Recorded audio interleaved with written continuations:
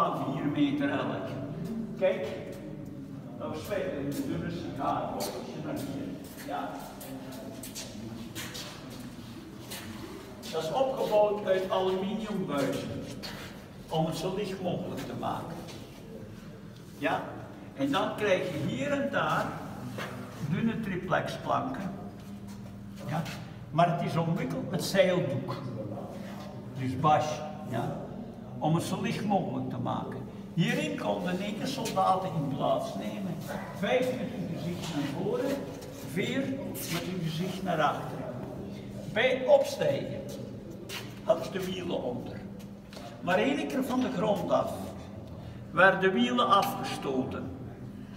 Ja? En kijk nu onder het vliegtuig. Het landde op die ski eronder. Daar hadden ze prikkeldraad rondgedraaid om het sneller doen af te remmen. Hoe kwamen die kerels eruit? Die koepel hier van boven open, die vijf springen hieruit en die vier komen hieruit. Wat is het voordeel van dat zweefvlieg? Tweedelig. Ten eerste, waar ze komen met een vliegtuig, hadden we ze horen komen. En ze geparachuteerd, waren ze verspreid over het terrein. Nu hebben wij zes maanden intensief getraind met elkaar. Wij waren perfect op elkaar ingespeeld.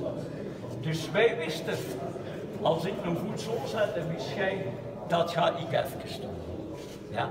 Dus je wist perfect wat er ging gebeuren. Goed? Dan krijg je, hoe werden die opgetrokken? Ja?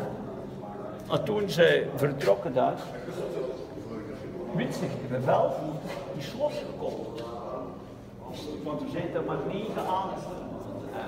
Waar zijn die anderen naartoe? Terug. Eh, die wist zich met opstijgen al, die ging terug Rijn op. En die ging neer in een weide.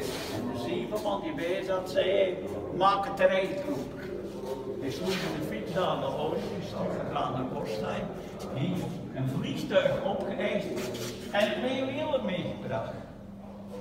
Anders kon niet vertrekken. Die zal nog anderhalf uur later op het fort geland. Maar toen was alles al over en uit.